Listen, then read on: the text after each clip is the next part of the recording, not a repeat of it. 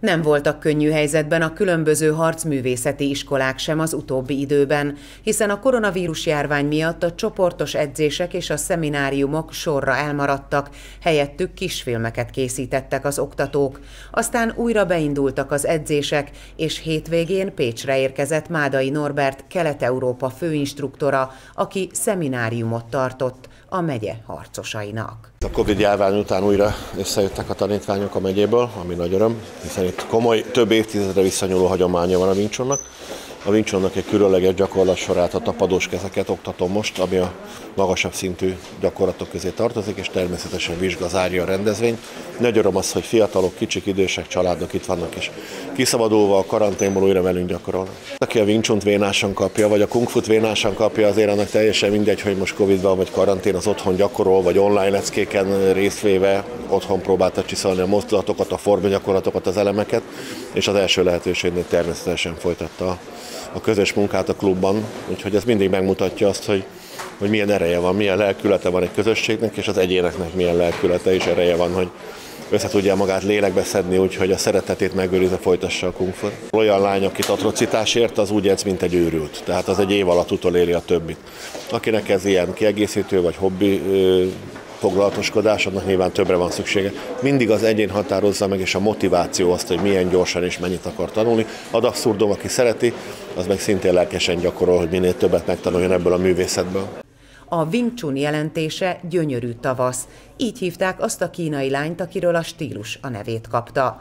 A Wing Chun oktatása a kínai hagyomány szerint csak családon belül történhetett, de mára már több mint ezren űzik hazánkban is. Manapság egész kiskorban kezdik az edzéseket. Kettő éve gyakorlom a Wing Chun Kung Fu-t, és igazából azóta az életemnek a szerves részévé vált. Nagyon-nagyon sokat adott nekem ez a harcművészet, mind az életemben, mind pedig a sport tekintetében. Nekem ez az első Pécsi szemináriumom, és mivel itt edzem, így ez a, ez a kis bázisunk, úgyhogy úgy érzem, hogy most otthon vagyok, és az, hogy Sifu eljött hozzánk Pécsre, ez nagyon sokat jelent nekünk, hogy itt az otthonunkban gyakorolhatunk. Ez az életem része, szóval ez igazából az a célom vele, hogy hogy minél többet tanulhassak, és az életemnek minden apró területébe be tudom építeni igazából az itt tanultakat.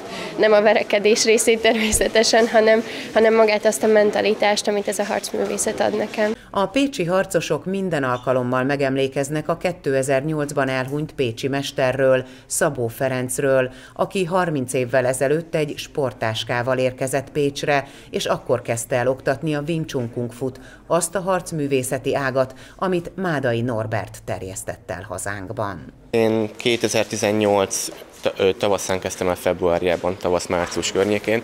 Én egyetemen tudtam felvenni, mint lehallgatható óra, és konkrétan egy hét, két hét alatt beleszerelmesedtem így az első néhány edzésre, és onnantól kezdve amennyit csak tudtam jártam edzésekre, a mesteremhez külön órákra, rendezvényekre, mint jelen helyzetben, meg nyáron edzőtáborokba. Jelenleg az egyes szekciónak nevezett mozdulatsorozatot tanuljuk.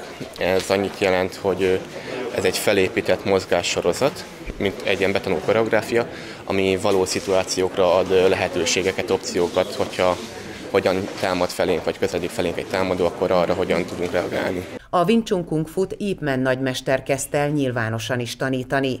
Az ő tanítványa volt Bruce Lee, aki világhírűvé tette ezt a stílust. Az öregmester legutolsó és legképzettebb tanítványát dr. Leuntinget nevezte ki örökösének, aki a mai napig az eredeti kínai Wing Chun Kung Fu nagymestere, és aki Sifu Mádai Norbertet fiává fogadta.